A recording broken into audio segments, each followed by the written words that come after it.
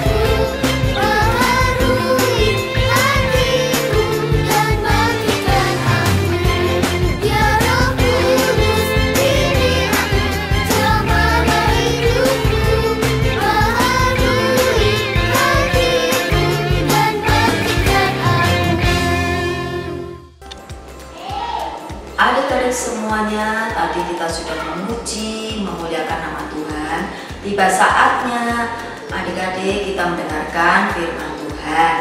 Nah, sebelum mendengarkan firman Tuhan, mari kita bersama-sama berdoa. Bapa kami yang ada di surga, terima kasih buat penyertaan-Mu kepada kami adik-adik sekolah minggu GAGK di mana pun berada. Saat ini Tuhan kami mau datang untuk mendengarkan kebenaran firman-Mu. Kiranya Tuhan memimpin, mengurapi, menyertai dan hanya di dalam namamu kami sudah berdoa dan mengucap syukur. Haleluya. Amin.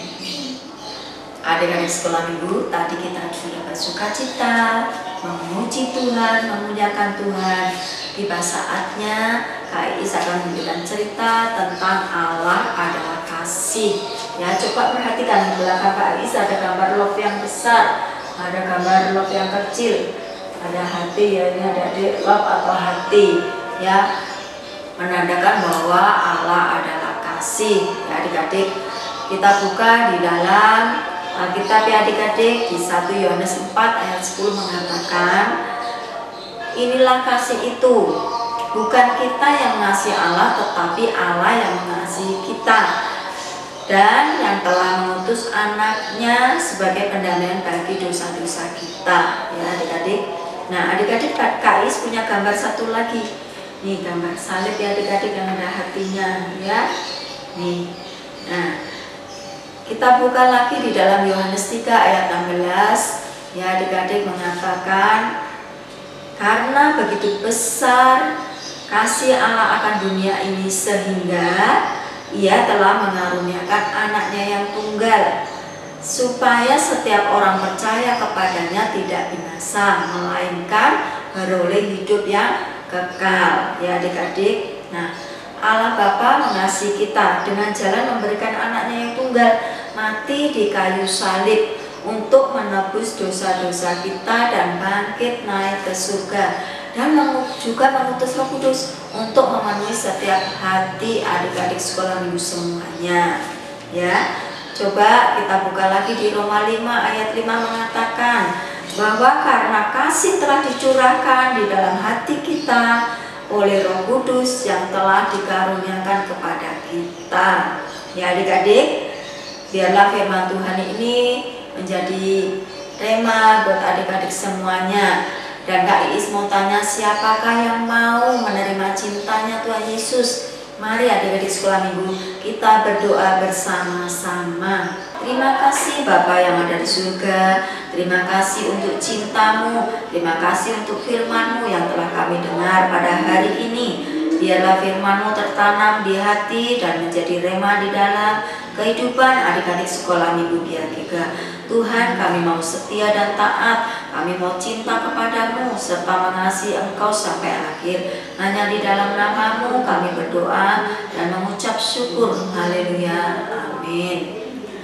Adik-adik sampai di sini dulu ya perjumpaan Iis dengan adik-adik.